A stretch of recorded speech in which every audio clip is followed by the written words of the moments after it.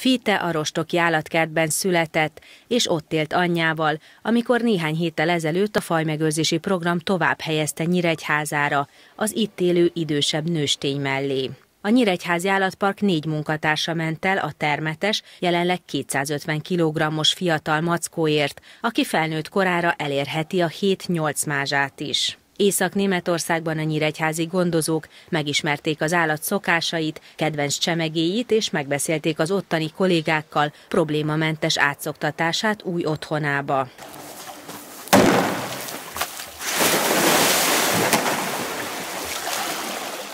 A sarkvidéki panoráma ifjú lakója kitűnően érzi magát sóstófürdőn, nagyon aktív, sokat játszik, és nem csak medencéjében, hanem a homokban is előszeretettel fürdőzik. Fite, az egy hónapja érkezett jegesedve fiú, nagyon jól érzi magát. Mivel állatparkunk már tartott egy idősebb nőstényt, az első feladat az volt, hogy összeszokassuk a két állatot. Ez eleinte rácson keresztül történt, majd a kifutórendszert megnyitottuk a két állat számára. Békésen nézik egymás mozdulatait napjainkban is, de teljesen más viselkedésű állatok, hiszen még Zora inkább komótosan szokott szammogni vagy pihengetni a kifutóban, addig Fite a két éves kamaszfiú leginkább a medencében a műanyag játékaival játszik látszik.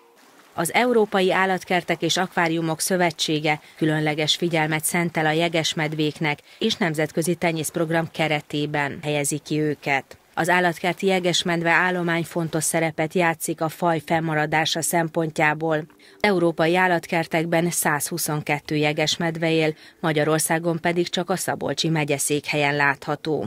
A Nyíregyházi állatparkban a jelenleg két nagy kifutóból, a 300 köbméteres medencéből és a légkondicionált barlangból álló kifutót fejleszteni szeretnék, Európában egyedülálló sarkvidéki bemutató építését tervezik.